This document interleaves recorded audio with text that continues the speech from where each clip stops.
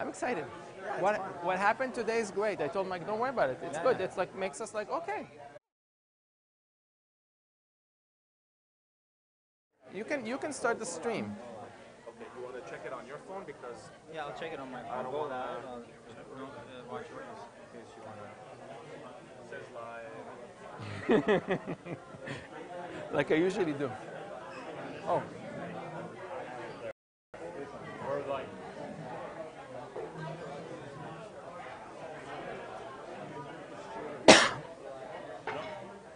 I need my clicker. Did anybody see my clicker?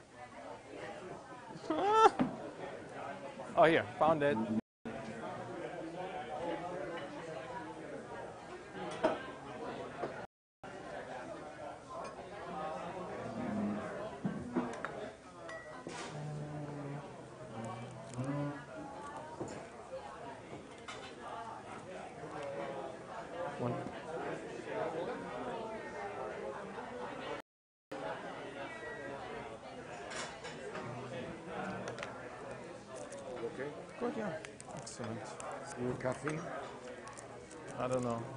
Great attendance.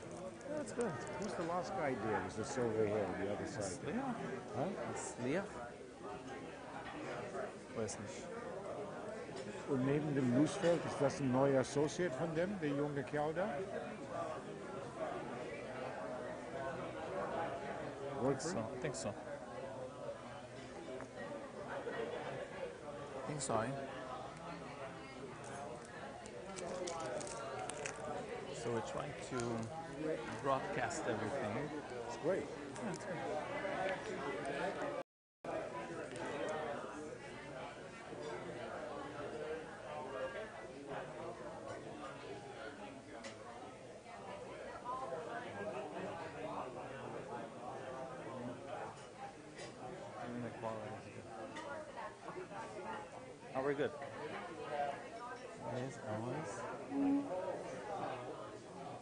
Yeah.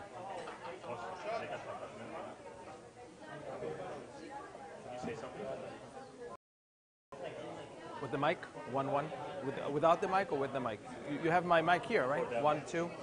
Check check.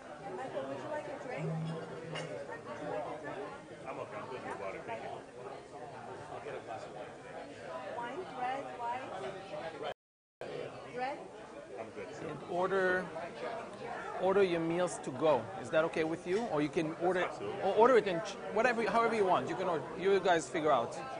I'll ha-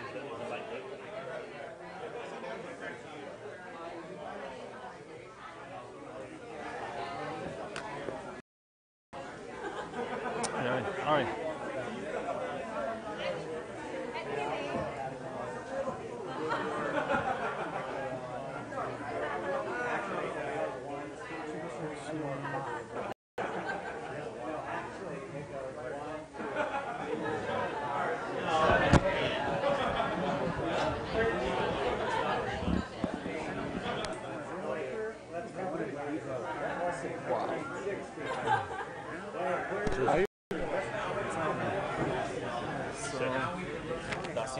Okay, does this mic work now? It's working good? you hear me loud and clear? Yeah. So look, I'm Guys, gonna go in front of this Watch camera what you're saying, okay? and announce what we're doing. It's broadcast okay? live. Cut to this here. Okay. Broadcast like watch what I'm saying. I don't know what it's saying. Yeah. No, it's public. Oh. so we don't care. You can show him every Let's take- You can show him. Can you show me? Just don't.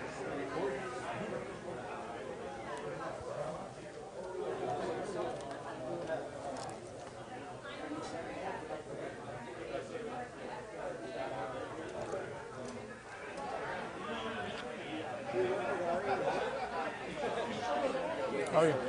Bill, be careful. Be careful. From Beverly Hills, California. Here we are at study club meeting. Uh, Dr. Ziv Simon uh, is doing a lecture on aesthetic crown lengthening.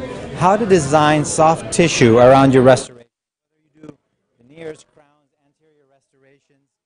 The, the telling me to closer to my mouth. So, what's going to be interesting about this lecture is Dr. Simon is go is going to go over how he treatment plans his cases when it comes to aesthetic crown lengthening. Uh, the software that he uses. Notice how he talks to his patients and uh, on what he does. A lot of times, a little adjustment to the gingival tissue can go a long way to the final result. Uh, how, how's it going? Are you feeling it or no? Test, test. We're still testing here. Yeah? Picking up now somehow when you're moving it. It wasn't picking up? Okay. So, if, in case you didn't hear me before, we're here live in Beverly Hills. Dr. Zeke Simon is doing a lecture on aesthetic crown lengthening. You think so? Or maybe Test one, test two. Test one, test two.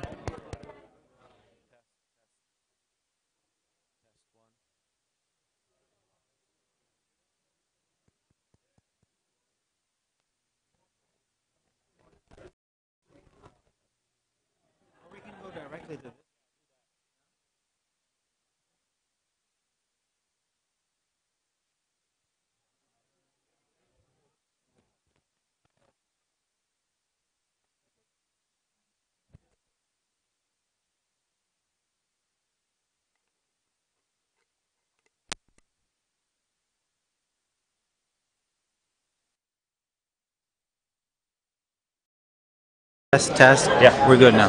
Yeah. Cool.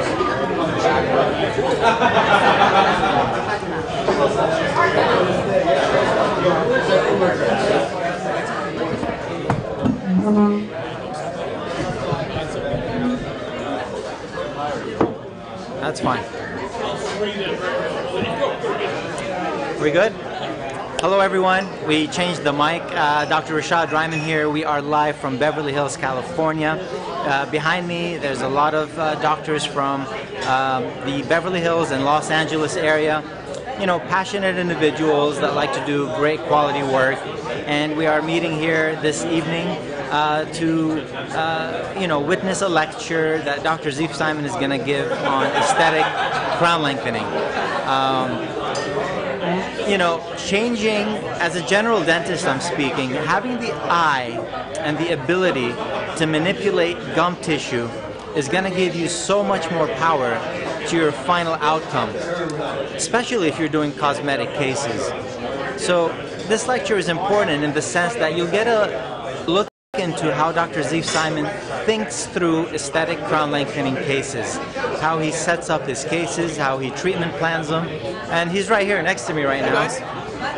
hey, Rashad, what, what were you saying? I was, I was, I was, you know, introducing the, you know, our event tonight, and uh, and and mentioning that you're going to be going over how you actually treatment plan your cases, right? Yeah, so tonight's lecture, or it's a, more of a presentation, mm-hmm. is about how to create aesthetic soft tissue. So I'm going to fo- be focusing on two major things. One, how to create symmetry, and how to remove excess. Yeah. Which, uh, is, and I'm going to talk about the four types of patients that need this type of treatment. I'm going to talk about the four types of diagnoses that cause excess tissue. Mm-hmm. I'm going to talk about a four-step communication system, how to communicate to the patient what they need and how to get high case acceptance. And I'm going to be talking about the four steps aesthetic crown lengthening. So the theme is four, it just so happened, and it's uh, you know I'm excited. It's new material and uh, a really simple and interesting thing, a way to look at. It seems to be complex to a lot of dentists, but um, think this this will be demystified tonight. I'm super excited, and I was telling everyone that this takes any general dentist's ability to the next level. Because if you're doing cosmetic cases, having the eye to, you know, trim the soft tissue properly, whether you need, you know, hard tissue removal or only soft tissue, will will allow them to have a lot better results for their final cases. So thanks for you know being here and sharing this with the world, Dr. Simon. Thank you. And always a pleasure to be with you. I'm excited, vice versa. Thank you guys. We'll see you in a few minutes. Enjoy. So,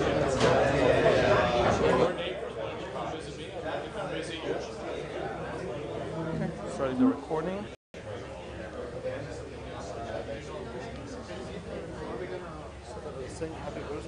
No, please do not. Of course not. Thanks for reminding me. We'll do it. Of course we'll do it. Yeah.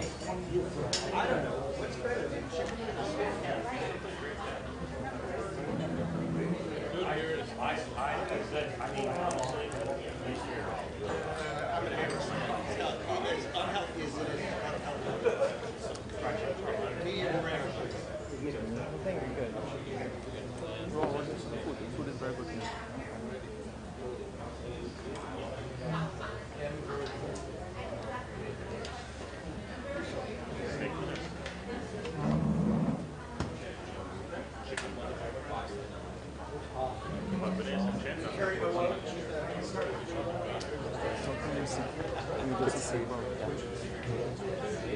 Sorry to interrupt. You see the guy all the way in the end with the gray, there's an old man, kind of, and next to him there's a guy with some gray. Mitch. It's his birthday. So when the dessert comes, can you put like one candle? Okay. Alright. Will you remember that? Okay, good. And then these guys also ordered dinner. These uh, two guys. Oh, and I'd like to, you know, one, I'm going to ask the other guy. Maybe I should put something.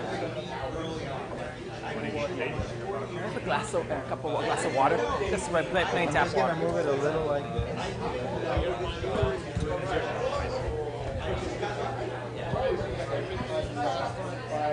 What about for your main You just leave it here. Thank you so much. I appreciate it. Thank you. So much. It all worked out. So we are broadcasting this live. We managed, we managed a way to um. So live editing it. And if you want to just peek behind those, those guys, you see the, edit, live editing. The switching between the computer and the, and the, um, and the camera.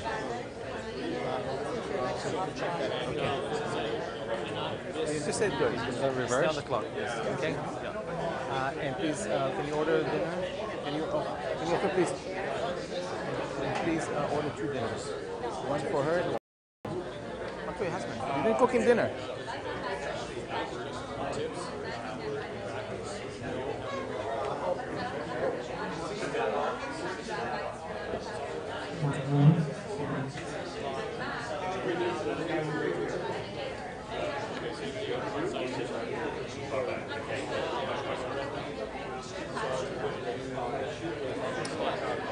Good evening, everybody.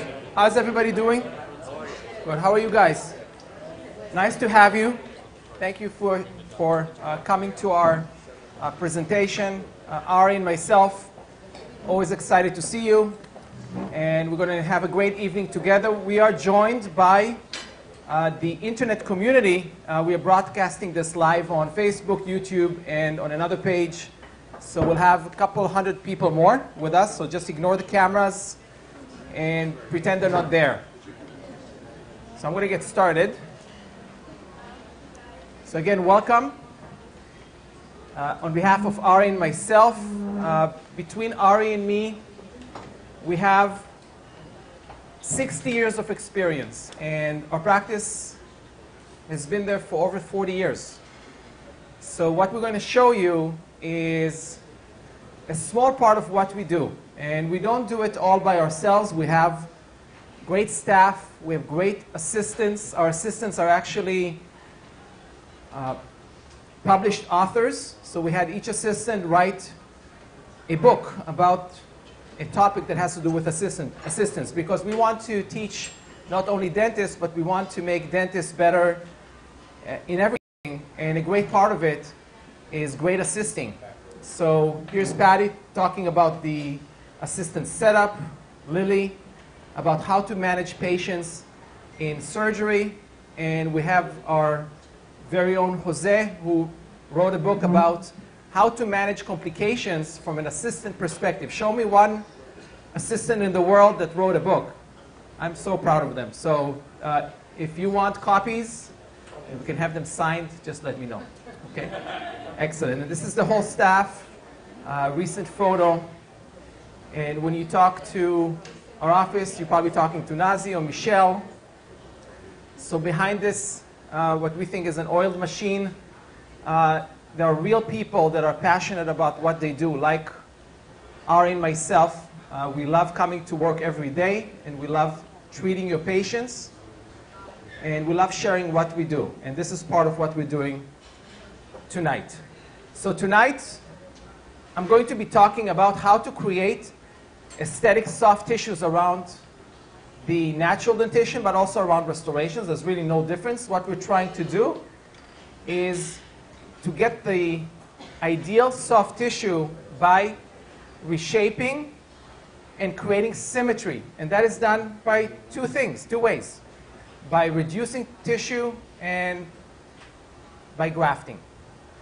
And rather than bog you down and show you 50 cases and everybody gets confused, I'm going to focus only on tissue excess, on tissue reduction, which is very important for your restorative work. For veneers, crowns in the aesthetic zone, you want the tissue to be symmetrical and you want the teeth proportions to be appropriate. And in this presentation, I'll be talking to you about how to remove the right amount of tissue, how to deal with tissue excess, and how to create symmetry. If I can teach you one thing, I'm going to be sleeping pretty well tonight. And I usually sleep very well, so I don't, I don't want to change that.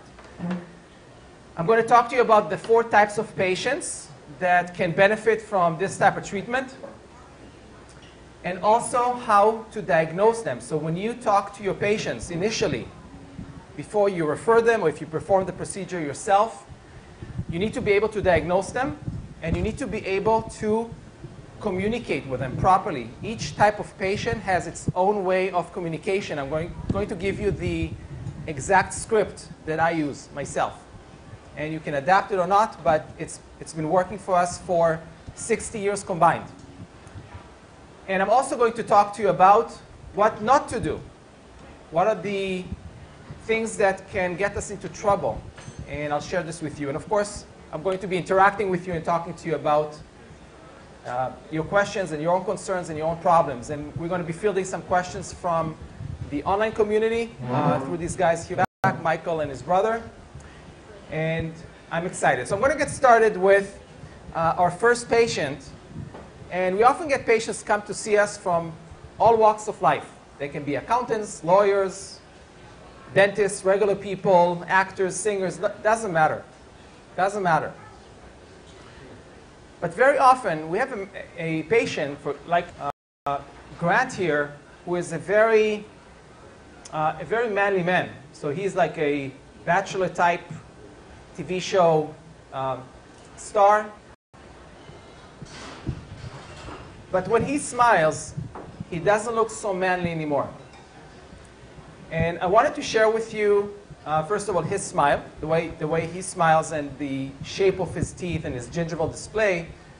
But I also wanted to share with you what he, how he explained the problem. So uh, Grant was part of a, a, separate project we did in the office. Uh, we filmed and broadcast his whole surgery, start to finish, live and also in a recording later on. And I interviewed him for about one minute before the surgery, and I wanted you just to listen to the words and what he says, because I personally learned a lot from, uh, from these words. So let's uh, keep quiet for one minute and try to listen to Grant.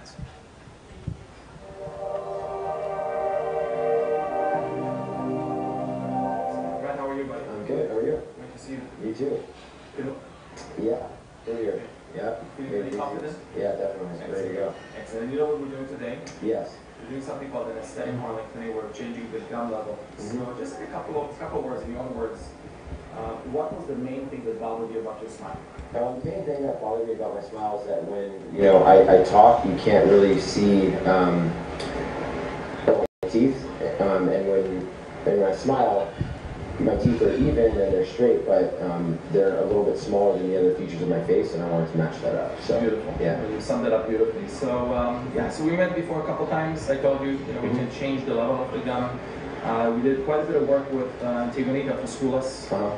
Uh, we did some digital simulations. We Yeah. did some um, uh, virtual simulations Uh-huh. and things like that. So we will be working off what we call a surgical guide. Perfect. So it's a small little device.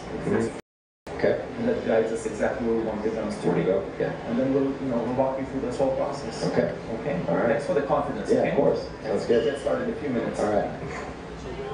Excellent. So thanks for watching that. So what did we learn from this video except for not chewing gum when you're on camera? I, mean, I always have gum in my mouth for some reason. The things that Grant said were when I talk, you can't really see a lot of my teeth. When I smile, my teeth are even and straight, but, when, but they are smaller than the other features of my face. And I want it all to match up. And what I loved about that, it summed up exactly why we're doing it. It summed up the, and for, since I graduated 20 years ago, there were different definitions of a perfect smile. And we are bombarded by, uh, you know, different gurus and uh, very great people that try to formulate the smiles and create templates. And everybody should fit inside this template. And in reality, what happens when the smile becomes too perfect, it loses its characteristics from a teeth perspective and a, and a, and a soft tissue perspective. And very often, these simulations look horrible. And everybody becomes the same uh, template. Doesn't look good. The perfect smile is a denture. And a lot of people walk around with teeth that look like dentures. And it's not a great thing, and it's not a criticism. I think there's a great shift right now to look into perfect imperfections and not to make everything perfectly the same because it doesn't look 100% real. And this is where many dentists fail, dentists and periodontists. They base their treatment only on a golden proportion in those templates. That's what guides them. They don't take into account the changes in the incisal edge position, performing a crown lengthening, not thinking that the crown lengthening uh, is affected not just by the soft tissue, it's affected also by where the incisal edge needs to be. Another reason dentists fail is because of gingivectomies that are very close to bone, and I'm going to talk about it a little bit as well to avoid trouble. And sometimes removing too little bone and not focusing on reshaping the bone. So there are some reasons, and, and these, are, these are things that will make dentists fail. And one of the biggest problems is perfectionism. Perfectionism is a, is a is, I, I see it as a dangerous state of mind, that you know, the, the world is not perfect, and it's, uh, it's, I think it's the worst form of self-abuse.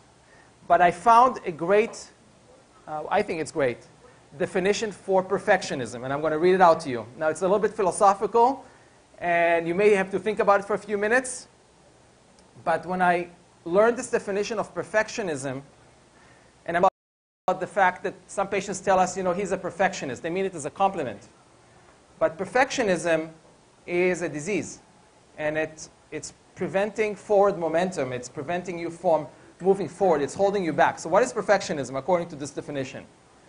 Perfectionism is trying to fool the world into believing something about yourself that you currently don't believe about yourself. Okay, so I'm not going to try and explain it, just think about it. You're trying to fool the world in believing something about yourself that you don't even believe about yourself. Okay? So I cured myself from perfectionism years ago. There's a way to get out of it. And it's very simple. You can do it over a weekend. And maybe in a different lecture we'll talk about it. So let's talk about the gummy smile. Excessive, gum, excessive gingival display. Not all gummy smiles are the same. There are different types of patients. There are different types of diagnoses. There are combos. And you need to be aware of it. Whether you're performing crown lengthening or not, you need to be aware of what is causing the soft tissue excess and what's the patient type. And let's start with types of patients. There are four types of patients that can benefit from tissue reduction. One type of patient is a patient that is usually very young, that has short, tiny little teeth that look square. Sometimes the width is larger than the height. And they don't need much. They need tissue reduction, and all we're doing, we're exposing the natural enamel. And these are the most beautiful cases because you're exposing virgin enamel. So the patient comes in with virgin teeth. They're relatively young. That's why I call this type of patient a young virgin. Okay? Please don't tell your patient you're this young virgin that Ziv talked about, but just for you to remember. A second type of patient, and I'll give you the example. So here's the example. Natural enamel, the incisal edges are proper. We have excess tissue because of a certain diagnosis I'm going to be talking about. And all we need to do is remove excess tissue and bone, and we'll have the right tooth proportion or teeth proportion. And the teeth are virgin and they will stay virgin. The second type of patient, I call them the pre-restorative. These are patients that have excess tissue, and we need to remove some.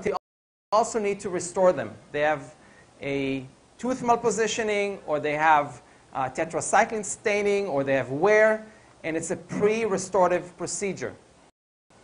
And here's an example. A patient that has excessive tissue, because of a diagnosis I'm going to be explaining in a second, and she will need soft tissue removal, but also restorative treatment with veneers, and this is her simulation. So this is our pre-restorative treatment. What is a third type of patient? Type of patient is relatively old, and by the way, some of you guys may recognize your patients here because our, our patients um, are coming from you guys, so you'll see them here. And this is a patient that is relatively old or older and has problems with the occlusion, teeth malpositioning, tooth migration, a lot of wear and tear. And I call this type of patient old and worn. Okay, just don't call them old and worn. Okay, but this is a type of patient that will, will present to your office. And these were the three types of patients that we've been seeing for uh, almost 20 years and Ari for 40 years. But we have one more type of patient. And this is a patient that needs aesthetic crown lengthening or tissue reduction, but also, actually, I'm going to show you first what is a, worn patient. Okay, good, good work, whoever restored this case.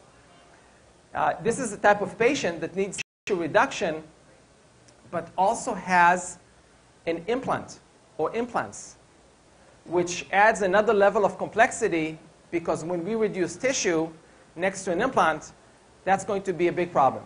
Okay, so remember those four types of patients, and I'm going to quiz you during this lecture about those types of patients. Okay, and if you don't know the answer, I'm going to help you. Okay, it's easy.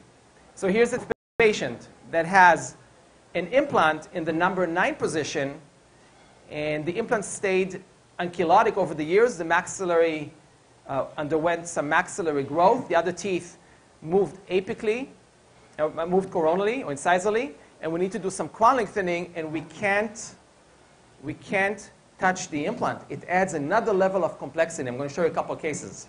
Okay, that's a, that's a problem. And also, I'm going to, going to give you some tips in regards to how to place implants or how to plan implants when it comes to the eruption. You actually have to reduce the bone, which is counterintuitive. And we have to bury those implants much deeper than you would nor normally do. So the four types of patients, we have our young virgin, who is a young patient with intact teeth, no, no future treatment. We have a pre-restorative. We have a patient that has the worn dentition. We call them not in their face, old and worn. And we have our implant patient. Okay? These are the four types. Now, don't get hung up on the patient's age. I know I gave you some guidelines about the age, but it's not necessarily the age. You can be young and worn as well. It all depends what you did to your teeth. It all depends on the time span that it took for this, this uh, problem to occur. So you know the types of patients. Now we need to know what's causing the excess. And I'm going to share with you. And actually, today's theme is four. Everything is going to be fours. It'll be easy for you to remember. And does anybody speak Chinese? Chinese? Don't you work in Alhambra? okay, so we're not going to talk about what it means in, in Chinese. Basically, if you go to Malaysia or China, there's no fourth floor. It's just one of the worst words ever. Okay? So there are four reasons for tissue excess. We have delayed eruption, we have compensatory eruption, we have vertical maxillary excess, and we have the hypermobile lip. Keep it simple. Okay, and I'm going to explain each and every one of those, and it's very simple to understand. And also, when you come back to your office tomorrow, and you see patients with excess tissue, you'll start to think about what type of patient and what's the reason causing the excess. Keep it really simple. So what's delayed eruption?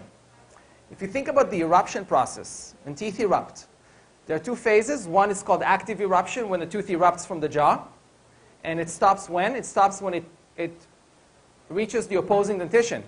That's the only time it stops. And when does active eruption stop? Anybody? Never. It never stops. Because if you have, you're missing an opposing tooth, the tooth or teeth have a, an eruptive mechanism. They, they'll keep erupting no, no matter what. And then the second phase of eruption is called passive eruption, and that's when the soft tissue retracts. And sometimes those, those two processes never happen. What's the end result? You have a tooth that looks short, but actually there's excess bone and soft tissue. And that's called delayed eruption, or delayed active and passive eruption. When I say delayed, it's never going to happen. It's never going to happen. It's not just delayed and it'll happen next week. It will never happen. That's just how we call it. How do we diagnose it? Very simple. Look at the incisal edges. If the incisal edges are intact, and sometimes you'll even see a, a remnant of the mamelons, and you see a short tooth with no zenith, no anatomical shape of the gingiva, completely flat or a very small curvature, that's delayed eruption 99.9%. So you already have a diagnostic skill you can utilize right away. Is that clear? So no zenith. No zenith and intact incisal edges. Okay, I'm going to ask you now. What patient is this? What type of patient? I'm sorry? A young version. Type. It's a young, I mean, dentally speaking. One. One. Good answer. Okay, so this is a, a patient with intact dentition, with virgin teeth that will stay virgin. All we need to do is remove some soft tissue. Here's another case. Look at this. Look at the incisal edges. Are they worn? They're worn. Excellent. So they're worn. But look at the soft tissue. Pretty flat. No zenith. This is a combination. A combination of delayed eruption, but also compensatory eruption because there's some attrition. Okay? And it's important to know the difference.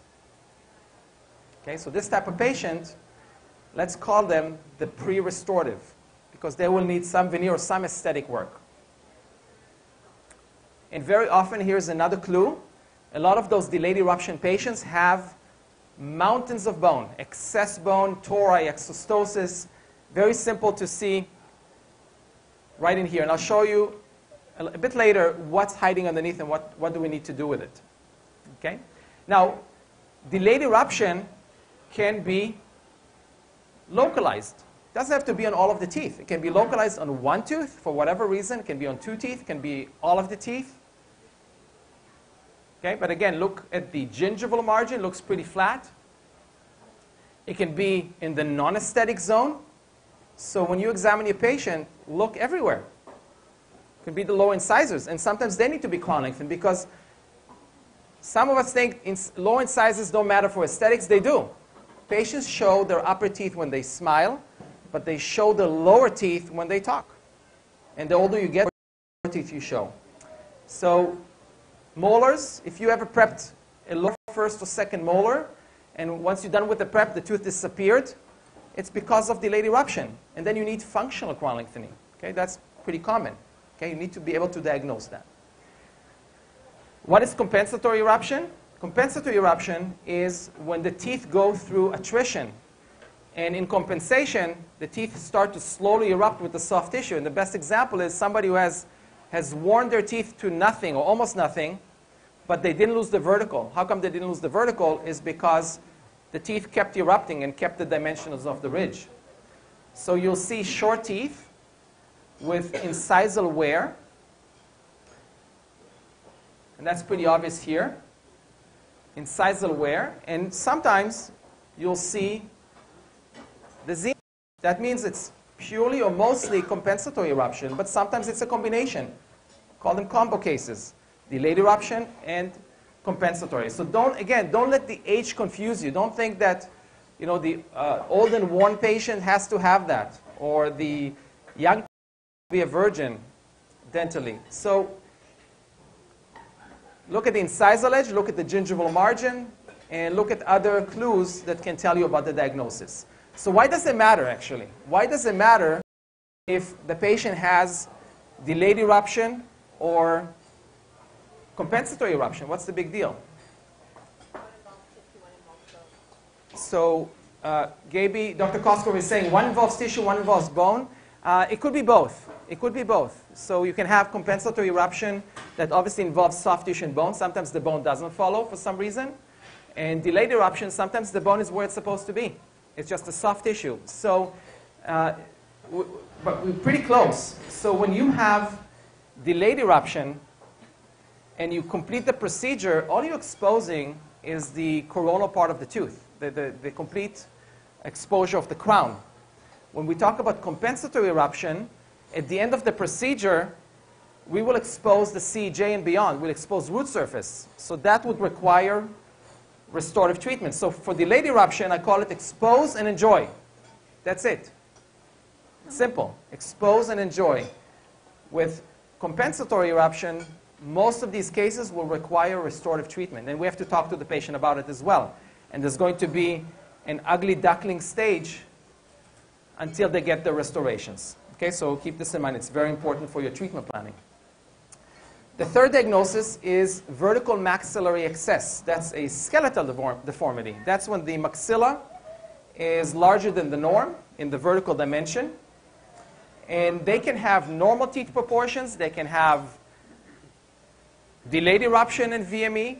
They can have compensatory eruption in VME. But it's very obvious that there's a lot of gingival display, excess tissue, because of a skeletal component. And if we're going to crown lengthening or remove some tissue and bone, uh, God help this patient. They look horrible. One clue is an abnormal rest position. So their lips are incompetent, the rest, they'll expose a lot of their teeth in rest. And that's one of the clues, and, and it's pretty obvious what it is. The last diagnosis that gets overlooked many, many times, just because uh, all of us, including myself, we, we don't always have patience in terms of dedicating the time. It's called the hypermobile lip. And this is when a patient is smiling. There's a very strong muscle pull. And I take those photographs and ask the patient to smile a little bit more. And a lot of us will stop here. And then, you know, I just pull out the, the, the, the I try to be as funny as I can. And you get them smile even more. And you can see those muscles are stretching. This, these are patients that have a normal rest position, but when they smile, they have a lot of gingival display. Again, their, their teeth proportions are pretty normal. Pretty normal. There, there, there may not be a papilla in here, which is a separate issue, but this is mostly because of a, a strong muscle pull. And these are the four diagnoses, and there are combos, so don't get confused. If somebody is delayed eruption, doesn't mean that they don't have VME or vice versa. Okay? You can have combinations. And again, I'm going to be testing you about some of the cases. So let's practice. Let's practice. Let's look at this patient. Let's, let's pick, on, pick on Phil. So we have a patient with worn dentition, uh, relatively old, in her early 70s or late 60s, uh, occlusal changes, tooth migration. What type of patient? Old and worn. Old and worn. Okay. It happens. Uh, she also has, she's been taking tetracycline for a long time, so you can start seeing the staining of the bone underneath. That, that is revealed during surgery. And this patient will need soft tissue resection and also a restoration. So what's the diagnosis? What's the diagnosis? Let's look at the incisal edges and the, soft, and the gingival margin. There's, it's pretty flat. The incisal edge is worn. So here we have a case of combination of delayed eruption and compensatory eruption. Okay? Don't, don't confuse you, but we have to know in the back of our minds that once we do the procedure, we will have to also follow up with restoration. So we do our due diligence with uh, diagnostic wax-ups, the surgery, the restorative treatment, and we can bring this patient to, be, to look less old and worn. And that's really our goal. Now let's do one more. One more. Uh, this is Chu's proportion gauge. I recommend you get one of those kits from forgot from whom, I think from uh. And this basically measures the tooth proportion. So if the tooth width is between those red line, according to the proportion, it should be as long as the red line. And it's a very important tool, but remember I warned you about perfectionism and about following template and, and golden standards. 20 years ago, all we talked about is the golden proportion. I, I don't think you hear this word ever again in, in, in aesthetic lectures. I think uh, we can attest to it right now. This proportion gauge works as long as the incisal edge doesn't change. If the incisal edge is changing, whether lengthening or shortening, the whole proportion is off. So why did we use this guide? So what is the diagnosis here? Anybody? Let's look at the incisal edges. They look pretty intact to me. And let's look at the gingival margin. We don't see a zenith. It's pretty flat. So that's delayed eruption. Delayed eruption, very simple. All we need to do is expose the natural enamel, which is, again, a beautiful thing to, to perform that. But this patient's smile is different. What are we seeing here? We're seeing two things. We're seeing excess tissue because of vertical maxillary excess, but also some hypermobile lip. So this, this is a combo. Delayed eruption, vertical maxillary excess, and hypermobile lip. And the more you in, engrave those diagnoses and patient types in your head, the better it is. Uh, I can tell you that after doing this for a long time, uh, when a patient just sits in the chair, I, in my head, I can already tell this is a, this is a young virgin, that it, it, already, it already works. So it's very important. So this, this type of patient, young virgin patient with delayed eruption, vertical maxillary ex excess, and also hypermobile lips. So we have four types of patients and four diagnoses. Any questions about that so far? All clear? Excellent. If you have any questions from the online community, just um, ask me in the back. Now, each type of patient has their own personality, their own wishes, desires, the things they expect, the things they're afraid of. And it's important to know how to communicate. And you need to be able to communicate with each and every one differently. Okay, you can't be the same doctor every time. You, can't, you have to be very, very flexible. And that's based on who is sitting in front of you. And that's called psychology. Okay, we need to be psychologists, and it's very important. I'm giving you some tools that are just shortcuts to, to, you know, to becoming a psychologist. So we, we very, very important to understand that. So I'm going to teach you a four-step communication system that I've been using for a long time. Again, four steps. And this is on top of everything else. So on top of your uh, extra-oral, intra-oral exam, your com comprehensive workup, your restorative workup, uh, radio radiographic exam, this is on top of it. It's not instead of. And what are the four steps of the system? Step number one, and in my opinion, the most important step that many dentists skip because of uh, lack of time, lack of attention, and really missing the boat here. That's the most important part of the whole treatment is the patient interview, and I'm going to show you what type of key questions I ask, and you must write them down. You have to write them down. You have to document them because you need to use them later on when you communicate.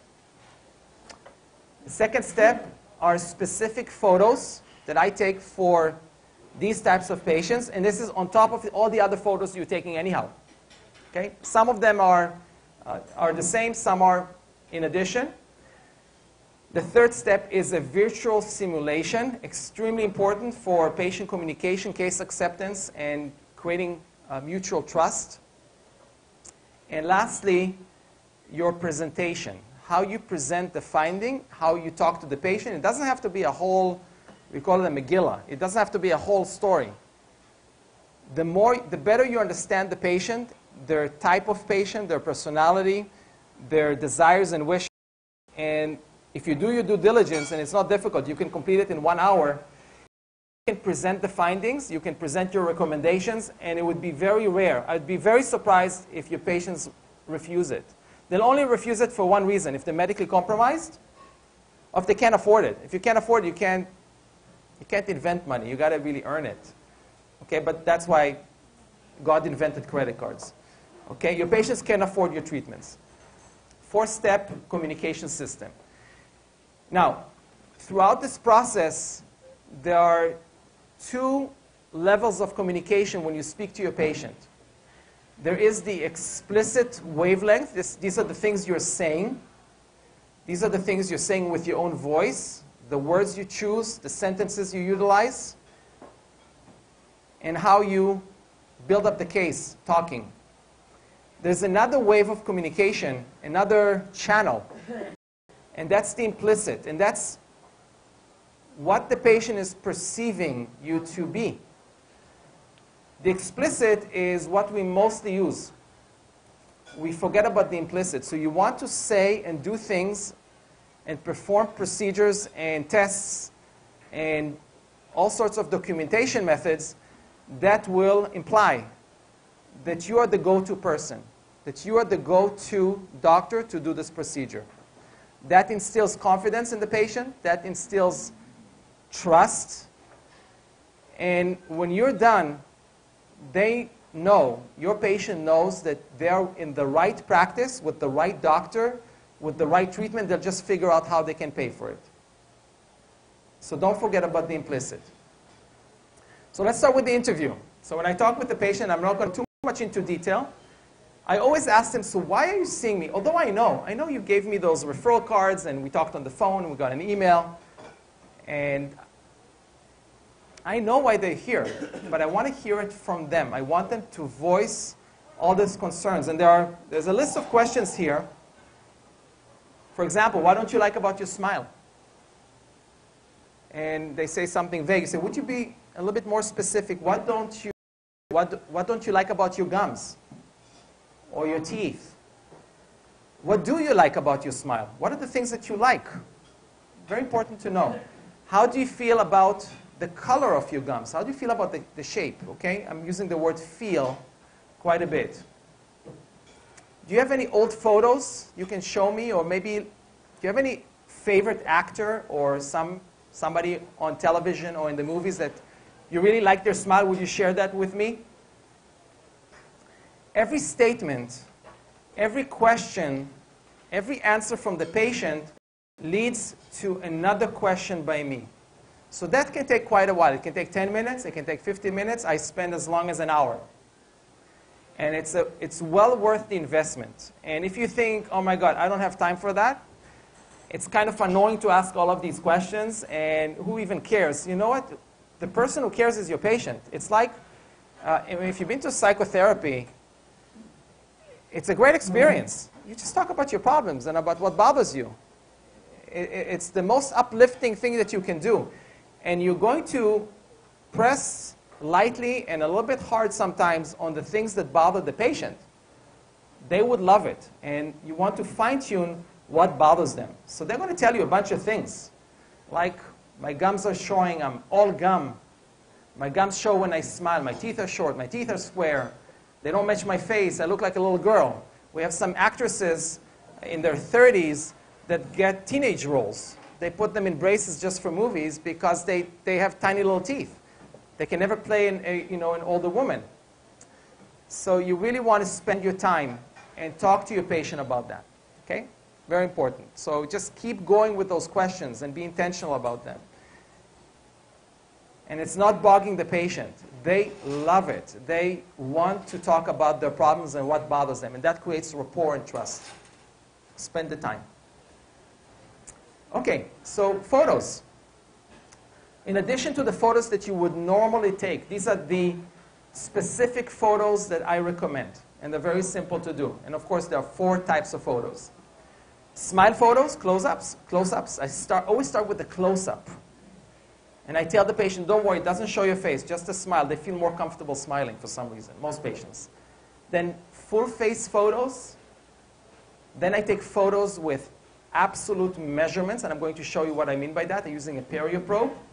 And then I take photos with that show teeth proportions with a proportion gauge. These are the four specific photos that are very important to make your case when you talk to your patients. So here, simple, everybody does that. Smile photos, lips closed, rest positions, different types of smiling. Take photos from the side. Because when a patient comes in because of gingival display and they tell you, I just want these two, you show them. Your teeth are short, not just in the front, they're short all the way back. And you smile this way. And, and you know what? When you talk to people, there's some people right and left, they're looking at you.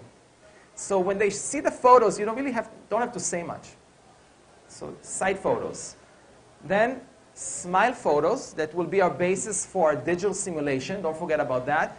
And I just keep snapping photos. I run out, of battery at the end of the day. I have to change batteries every day. Because I take so many photos. And I think the photos don't always teach us, but they send the message to the patient. I'm in the right place. I'm with the right doctor, I'm with the right team, and they're going to help me. They listen to me. They are studying my smile. Okay? Your smile photos will be again used later on in your virtual simulation. I'll show you how simple it is. Three is our measurement with a probe. So I take a photo. Uh, it took me, uh, you know, just, just a balancing act at the beginning just to hold the camera and hold the probe on the other side, or your assistant can hold the probe. And basically what I'm trying to show here is the length of the central incisor. We're looking at an average of 10.5, just kind of in, in the back of your mind. And I'll take another photo with the width as well, of mostly the central incisors. And the fourth type of photo is with our proportion gauge. Okay? And when I show this to the patient, I actually don't say anything. And I actually want the patient to ask, what is this cross? You're Jewish. You know, it's one of, it's one of those things. So you want them to ask those questions. Okay? So this is called Chu's proportion gauge. And that's a great diagnostic tool. If we have teeth that are as wide as those red lines, they should be as long as the red line. If we're looking at uh, more or less the range width to height ratio 75 to 80 percent more or less. So these are the four types of photos I'm recommending. Once you took your photos, once you did your interview, I do a quick recap, a quick re review. Don't bog them down now about how great you are with, you know, what great lab you use and what great surgical skills you have, and we're going to do this and that, we'll sedate you, and you won't have any pain. Don't get there even. We're not there yet. It's a quick recap that basically tells them I'm studying your smile right now. That's what I'm doing. I'm looking into what's bothering you. And then I'm going to mention three things the patient's first burning issue, the second, and the third. And that's from what you interviewed the patient about. Always go back to what bothers the patient. You almost talking to the inside of the patient, and they're, they're not even aware of that. And it's not a form of, you know, manipulation. It's understanding the patient's psychology. I'm studying your smile. I'm, I'm studying what is bothering you in regards to your short teeth and your excess tissue and how your gum looks a little bit uh, asymmetrical. And, you know, looking at those photos, I get what you're saying. I totally get it. And you probably can benefit from procedure X, veneers, crown lengthening, whatever it may be, gingivectomy. But before we, before we, not you, not me, before I, no, before we make a final decision, let's simulate. Okay? So you're also demonstrating that you're doing your due diligence in taking all the photos and now is the time for the third part, which is called digital simulation. I'm not going to show you how it is. I know a lot of you guys wanted to see how it's done. I use a very simple and inexpensive software called Photoshop. You don't have to buy the full version. Photoshop Elements is just short of $100.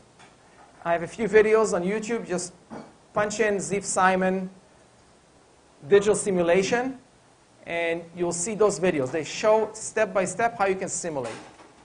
You don't have to buy software for thousands of dollars and, and get confused. Very simple to do. And all I'm doing, and I like to do it in front of them. So I sit next to them.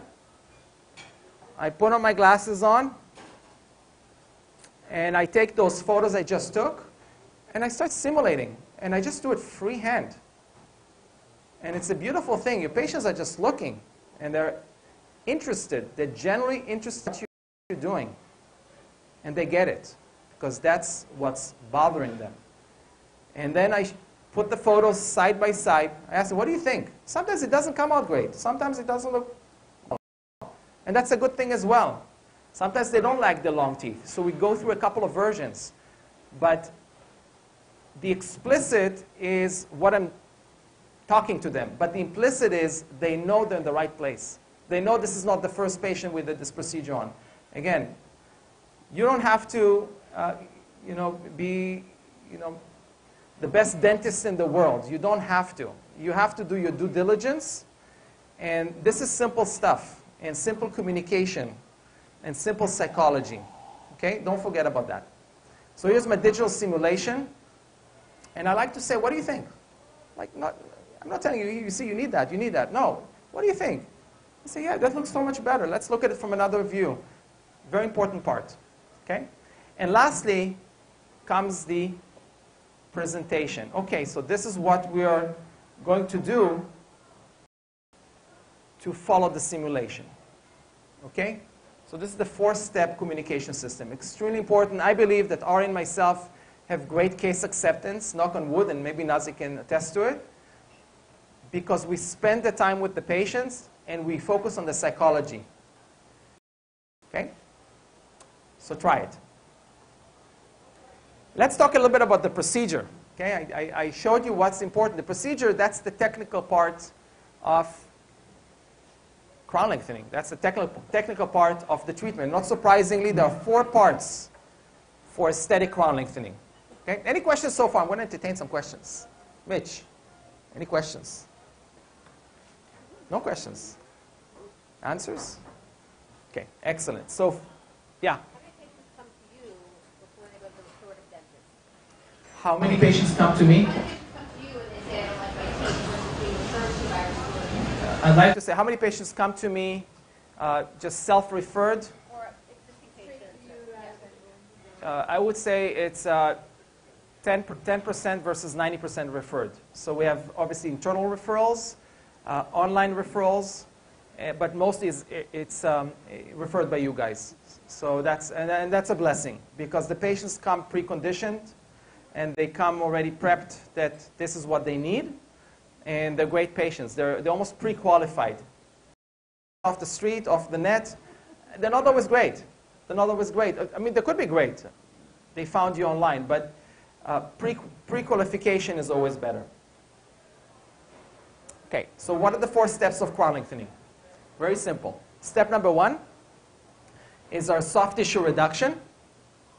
Step number two is a full thickness flap, so we have to reflect the flap and expose the bone. Step number three is bone reduction and reshaping. And step number four is suturing. That's how it is. And are, of course, the devil is in the details, but for you to remember, these are the different steps. And most of the time, for most cases, they need to have bone reduction and they need to have a flap. And we'll talk about when can we do a gingivectomy, when not, what is, what is the role of lasers. So step number one is only soft tissue reduction, and I'm utilizing either a surgical guide or I'm using the digital simulation or a model, or I'm using, if the incisal edges don't change, I use a proportion gauge. But that's the most part of the procedure. Uh, for all patients, once I'm done with this procedure, I add some anesthetic in the attached gingiva, and I actually take my gloves, gloves off, and I pull out the mirror and I ask them, you know, take a look, see where we're at. And, and a lot of the patients are, are, they feel it's great already. Okay, we don't send them home right away, but they know that we are on track and, and, and they really like it, see the, the enamel that was before. Step number two is a full thickness flap, so we reflect, reflect the tissue and expose the bone. And this is when you start seeing a very typical type of bone for delayed eruption, delayed active eruption. It's thick and it has a, an irregular surface and it's extremely dense. And that's part of the problem. That's why the soft tissues don't retract. they get hung up on the bone. We know that the soft tissue follows the bone. So if the bone has an abnormal shape, the, the gum tissue will stay where it's not supposed to be. And that's also the trick how we can ameliorate it, how we can improve it. If you don't change the bone, you'll get a relapse. Okay, so I, in a way, I want you to be aware when you're doing a gingivectomy, you know, look twice and, and take a look. Does the patient have exostosis, tori? If they do, they need this type of procedure. Okay, so the, sec- the, the third step is osseous recontouring. We are reducing vertical levels of bone and changing the shape. That's called osteoplasty. That's more the technical part of it.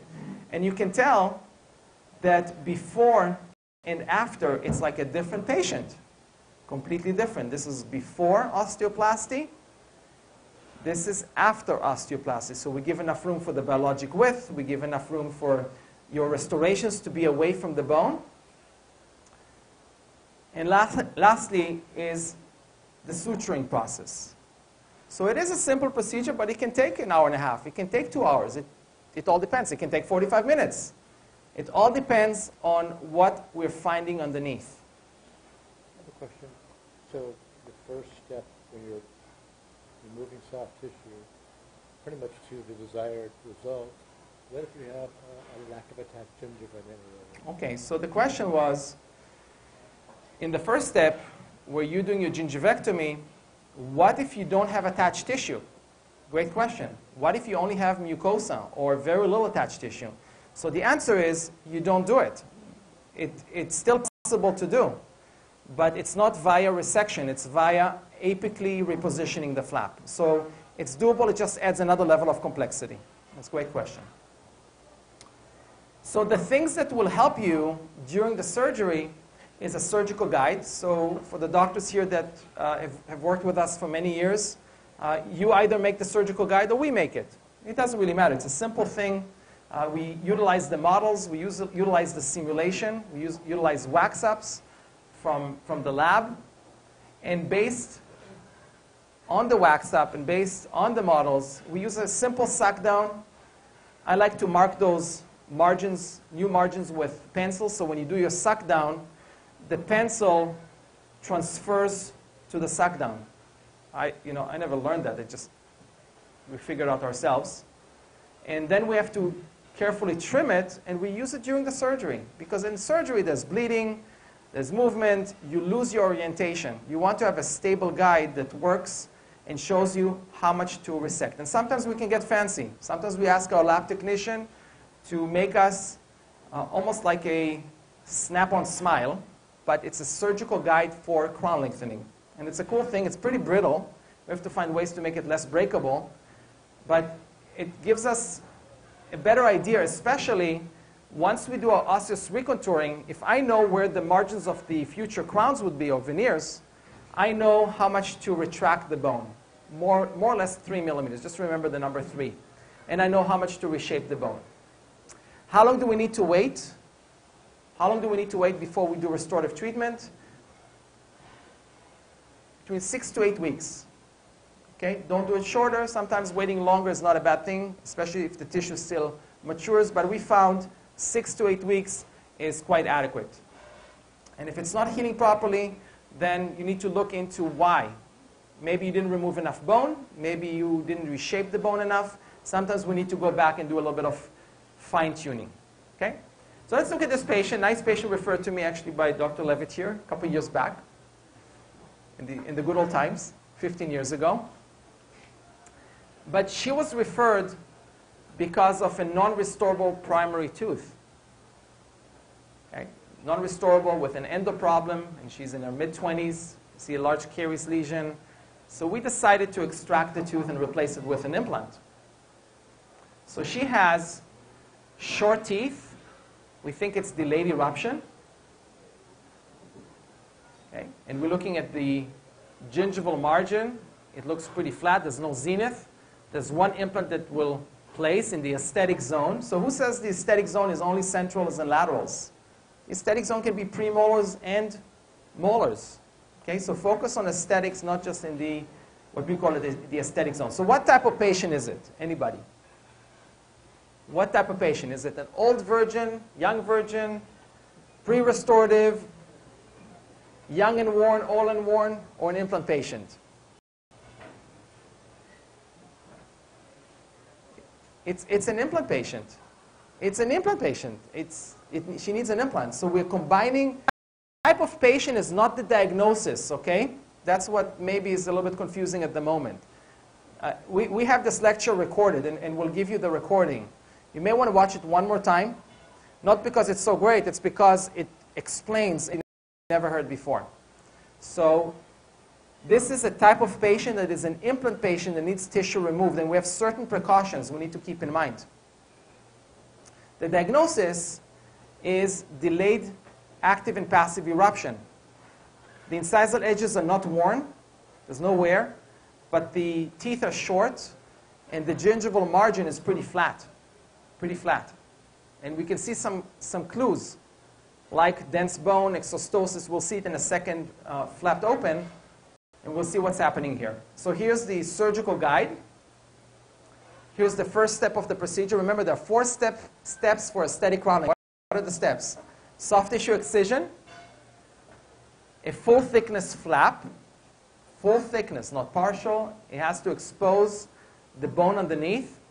And when you expose the bone, you will see the very typical type of bone for delayed eruption. It's very dense. It's very irregular. There are exostosis and tori. It's very densely attached, which, which can cause sometimes complications. I'm going to show this, show this a little bit later. But the most powerful part is that the bone is in an abnormal position, abnormal. It's sitting on the CJ. It should be 3 millimeters apical to that. So if you resect the, the soft tissue only, and you're thinking, okay, I'm just resecting, exposing the normal crown proportion, you will be actually right on bone. And that's pretty common. So here's our CJ. The bone is practically kissing it. Can we do it with part? Yes. You can laser off the soft tissue part. There's no problem in, that, in doing that. But you still need to reflect the flap. So uh, our philosophy is when we do our soft tissue excision, part of this incision outline is already the first step of reflecting a flap. So we don't use lasers. We don't, we don't see them valuable for a, an osseous procedure. So here's our third step, the osseous recontouring. We use different types of burrs. We move the bone apically and we reshape it. And that's where the surgical guide comes handy. Again, back on. You don't put it in the trash right away. Fit it on the teeth. It shows you where the gingival margins should be, and then you can count back three millimeters and reshape the bone. It looks like a different, but it is the same, I promise you. It just takes a little bit of understanding of how the bone needs to look like, the height of bone. Okay, so here's the height component, but that's where a lot of dentists fail. They just think about height, but they don't think about width or the horizontal. And the horizontal component is similar to what we did with dentures. When we carved the wax for a denture, what did we do? We did something called festooning. Festooning, okay? Festooning is not because of a denture, it's because the shape of the bone. And this, the bone is concave in between the roots and convex on the roots. So we have a transition between concave convex, and that's called festooning. That has to be represented in the bone as well, right here. Here is before recontouring, very dense bone, and this is how it's supposed to look like anatomically. And you, you may look at it and say, Z, why are you taking all this good bone away? Well, if I don't take it away, if I don't make it anatomical and physiological, the, the tissue will relapse. So we just defeated the purpose. Patient went through surgery, paid all this money, had all this relative pain and suffering, and we didn't get the result. So if you don't do the right osseous recontouring, you're not going to get the result that you want. And, and I'm all for being conservative. But that's part of the procedure. And last step is the suturing. How about the implant? How about the implant? Uh, one of the biggest mistakes that I've done once in 20 years is replacing a primary tooth and being fooled by the amount of bone. Most primary teeth have a lot of bone. Go figure. So you look at this bone platform, you just stick the implant where the primary tooth was. What's the end result? You're getting an implant restoration that looks like a primary tooth.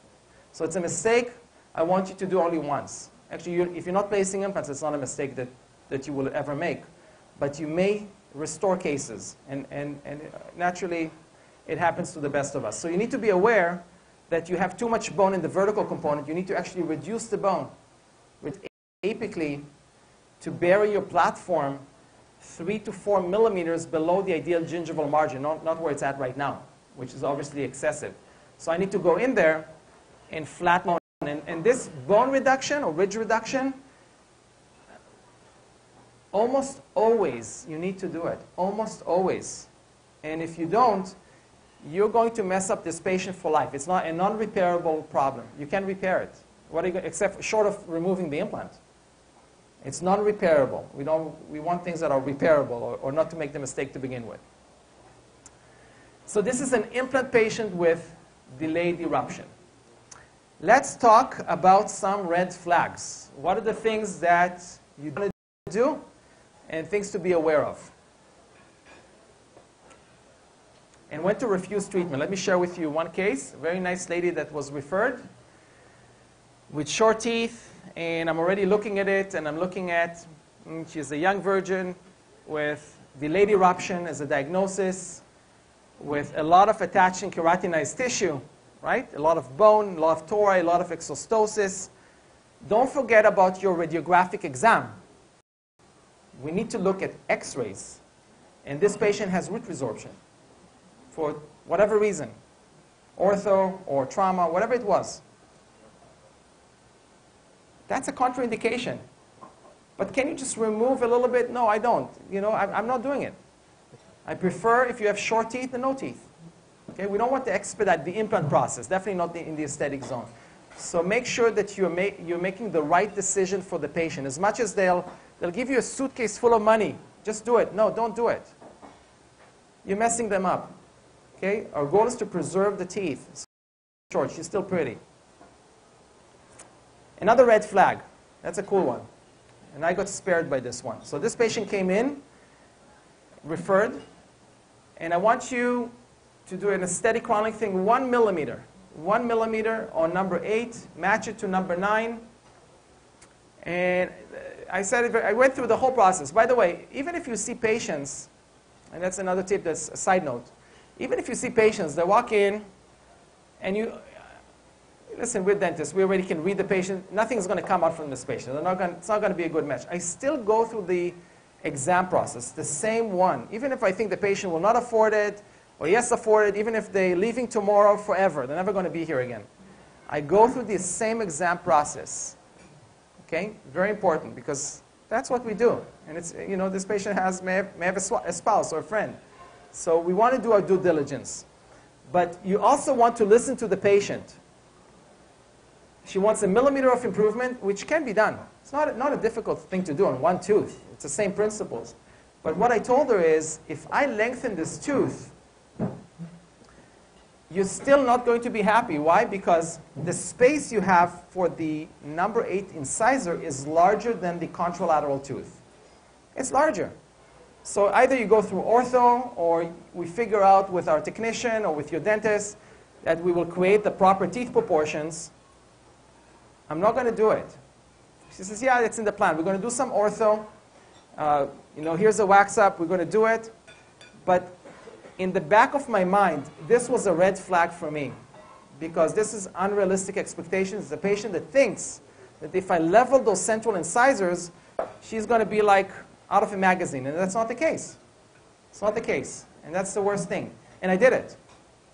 I did it. I did the surgery and it was uh, pretty successful. But the patient was very disappointed and it led to a lot of bad things. I was spared. I mean, the, the one thing she told me is, You're the only one who listened to me. She really left the dentist and all, and all of that. It was a bad case to treat. But listen to your patients. If, they feel, if you feel you know, you're not going to make them happy, even if you do the chronic thing, it's not going to help, don't do it.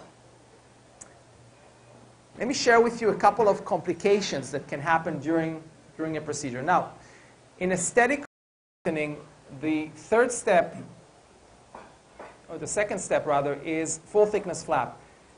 Thi- This tissue is so dense and so irregular with a lot of undercuts and tori, and if you ever reflected the flap around the torus, it can take half an hour. Because if you know one wrong movement, you're going to tear the tissue. And sometimes even in, with the best of efforts, you can have some perforations because the bone is that, that dense. You see those shelves, shelves of bone. You need to undermine them and, and, and, and go around them without tearing. But sometimes the tissue is scarred and you can get a tear. Okay? As periodontists, uh, you know, we don't freak out. We, we don't have this um, emotion of freaking out at all. It doesn't exist. But it's a certainly a problem that we need to be aware of. So even with careful management, you can have a perforation in the most critical parts. And we know what perforation means. Perforation means compromised vascularity and, and white tissue and dead flaps and necrosis. We don't like that. So careful management with proper suturing and suturing the perforations. And they all heal. They all heal if you manage them properly. Okay? Now, if you have a complete perforation of the flap, like almost like a complete tear, then you have to treat it like a vertical releasing incision, which is also not great because when you make incisions, you want to be in control. You don't want the tissue or the complication to determine how big your flap or how small your flap would be and where you make a vertical. So these things can happen, but ultimately a nice result. Another type of complication, and that, you know, it's a little bit scary if it happens, is for certain patients where you need to do a lot of osseous because they have those mountains of bone. You need to do a lot of osseous, and you have a frenum that pulls on the tissue, and they have a type of tissue that looks very spongy, it's very brittle, it's friable, it just tears. You can have a situation where the tissue will die back and you get recession. Oh my God, not a good thing. It's like over crown lengthening unintentionally on one tooth, not a good thing. Okay, so we have the skills to graft. Okay, so you have to have in your surgical toolbox all the types of procedures. Everything needs to be available to you. Like in your restorative toolbox, you know how to prep for a crown and you know how to do this and that. Same thing with us. We need to find solutions because we're not going to leave a patient uh, completely messed up. Not, not going to happen. So soft tissue graft, correcting the problem, letting it heal, and then I took care of the frenum a little bit later. I don't want the tissue to pull, and I also reshaped the gum tissue. So it's not so irregular and bubbly. It's more, it's more flat and nice. And this patient was later on restored and treated. And Mitch, I think this is your patient as well. And I think he's a rabbi. I know he's a rabbi. Okay? So these things can happen, and these things need to be managed in the best possible way. So you don't have to accept tissue excess and tissue asymmetry. When you see your patients for a consultation or you know, throughout your career or throughout your week, you don't have to accept the tissue to where it's at. If they have too much tissue or the tissue is asymmetrical, you now know what types of patients can benefit from tissue reduction and bone reduction. You know what types of diagnoses exist. You know how to communicate with them, the system I shared with you, and you know the four steps of crown lengthening. You don't have to accept if a patient comes in and wants to have improvement. This is Dr. Zweig's patient from a couple years back. You don't have to accept the tissue level. And, and Dr. Zweig did not accept this tissue level. He told the patient, I'm not going to restore you as it is. That would be the easiest thing for me, for me, but you won't be happy. We need to change the tissue level. We need to create some tissue uh, symmetry, and we need to change the color if it bothers you if it bothers you. So we went through the diagnostic process. We did the crown lengthening, the four steps of crown lengthening. And we need to wait how long? Six to eight weeks. And I call this phase the ugly duckling stage. The ugly, everybody knows the story of ugly duckling? Okay, that eventually became a beautiful swan.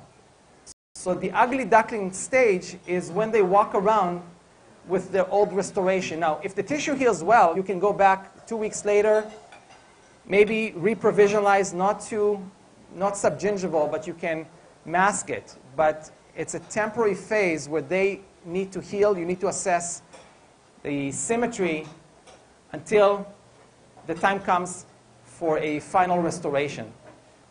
So if you know all those patients type, patient types and the diagnoses and the communication steps and the process needed to create tissue symmetry and aesthetic tissue, most of your patients can become swans. Thank you so much. I appreciate it. I hope everybody's enjoying their meal. I'm going to have mine a little bit later at home. Very well done. Uh, I- well done? You like it well done? I, no, I say it's, Oh. it's well done, Good. as in good. Good. Excellent. So I'm going to entertain some questions, and we have some questions from the online. Yeah. Dr. Riemann. Tissue to the base of the sulcus without removing bone, what's the probability of it growing back? So uh, if we trim the tissue to the base of the sulcus without removing bone, what's the probability of it coming back? So if you trim the tissue to the base of the sulcus without trimming bone, the probability of the tissue growing back is close to 100%. And it depends on the shape of the bone, that's mostly the thickness. The thicker it is, the, the more likely it is to relapse. So that's one of the biggest problems. Now, sometimes you can get away with just soft tissue reduction if you have a dehiscence or you have very, very thin bone that will naturally resorb with time you can get away with gingivectomies, lasers, and things like that. But the thing is, you don't know. I hope that in this presentation, I showed you what's hiding underneath. Okay. Any more questions? Do you ever do cases where the temporaries are fabricated prior to surgery, surgery, desired result, desired margin? Okay, so the question is, uh, is do I ever use prefabricated temporaries that are delivered at the time of surgery? Uh, I personally don't. I don't see great value in that, although nothing wrong with that, but I, I just don't see uh, the reason to do it. I don't see the reason to do it. So, so you never will have sensitivity on like three millimeters exposed? Okay, so the question was, so won't you have sensitivity? Well, depending on the diagnosis. If we're doing a aesthetic crown lengthening for a patient that has delayed eruption, we're exposing enamel, so the sensitivity will be minimal. If we're doing it on compensatory eruption, we have to warn them about sensitivity and maybe desensitize and maybe restore them. But I, I don't like to place my provisionals at the time of surgery. Unless they already have provisionals for whatever reason, I, don't, I, do- I personally don't do it.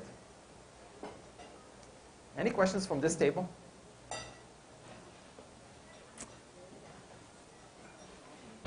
More questions? Yes.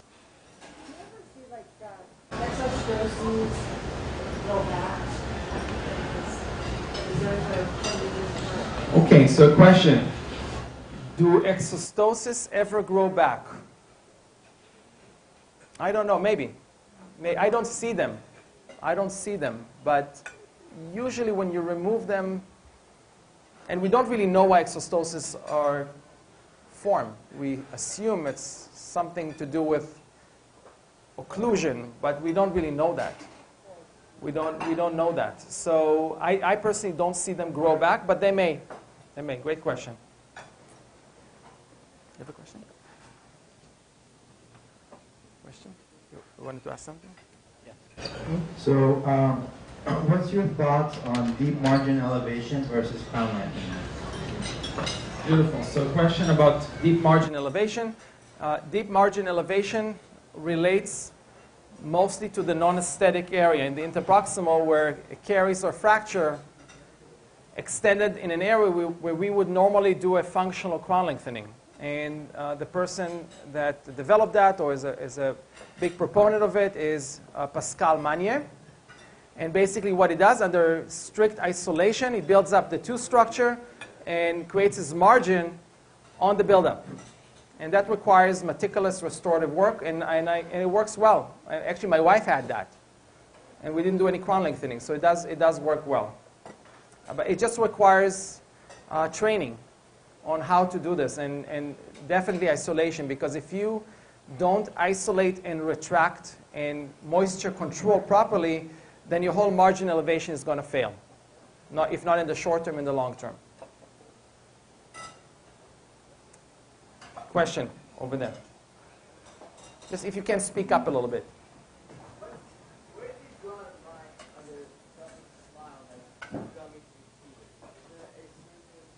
Great question, and it actually was studied by Kokich, Kokich Jr. They did a lot of studies on what's perceived as anesthetic in, in terms of gingival display. And they figured out that for most people, a gingival display of over 4 millimeters is considered anesthetic. Unless you're an orthodontist. They figured out the orthodontist at 2 millimeters, they don't like the way it looks. And, and, and it was a very well designed study. It's actually a classical uh, study in our literature. Uh, however, and, and that's, that's a great starting point, but you could have a patient with one millimeter of gingival display who is, is unhappy, and somebody with six that couldn't care less. So always go back to the patient and figure out what bothers them because our, our treatments are, I call them a la carte. They're custom. We're, we're going to stay away from templates, from all sorts of DSDs and things like nothing wrong with DSD, but you can't fall into the templates. You got to give your patient the unique smile they, they want. And I like the proportion gauge and the golden proportion, but we really stay away from it. And, and that's coming not from a, a, a or somebody that uh, deals with restorative, but I deal with restorative dentists, and I see the results. Mark. Prepare the patient for the unpredictability of healing.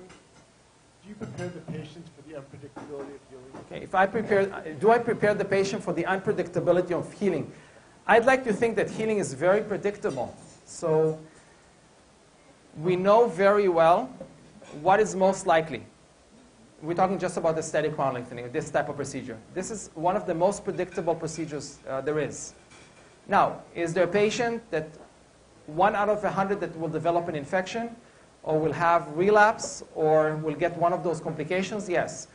I do prepare them and I talk, from, I talk to them from about what's most com commonly seen, the swelling, the pain, discomfort, the sensitivity, to the most rare infections, tissue recession, your jaw breaking. I mean, all of that is in the consent, but. No, but I'm talking about the, the perhaps the, the lack of precision of number eight.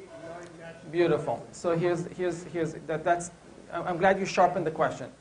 So yes, I do, I do prepare them. So I prepare them in a sense that I tell them I, I will aim, I will aim to the ide- for, for the ideal. Total symmetry between 8 and 9, total symmetry between the laterals and the canines. Now, patient's healing can vary. That's talking to the patient. And should you have a discrepancy, I will go back in there at no additional cost to you to refine it. And sometimes we need to do it. And that's the preparation. And then, like, cool, I don't have to pay again for the whole thing. They, trust you already at this point. But it's good to talk about it. 100%. Stephen. Regarding symmetry, orthodontic with malposed teeth, when do you draw the line, or can you uh, forecast when you have that Okay, great question. Can you do orthodontics before aesthetic crown lengthening? You can. But here's the problem, and I've done it both ways. Here's the problem. When you do aesthetic, perform aesthetic crown lengthening before ortho, your teeth are malpositioned. Your roots are malpositioned. So you have to follow the anatomy of the tooth. And it's doable. But what if a tooth is rotated slightly? You don't have great access. So at least get them to a point where they're more or less in a nice arch form. So you, you know, it sets you up for success with the procedure. So I recommend it afterwards. That was my question, to what degree do you evaluate, you have to send them to a That's case by case. I don't, I don't have the exact number. The- And, and nor do I know enough about orthodontics in terms of you know, the, the, the time frames and what needs to be done. But it's, they need to be more or less in, in, a, in a nice arch form where the buccal of the root, the roots and the teeth are more or less aligned and they're fickle and they're not severely rotated. Because then you don't have surgical access and, and you'll compromise the results. And we want them to do it all.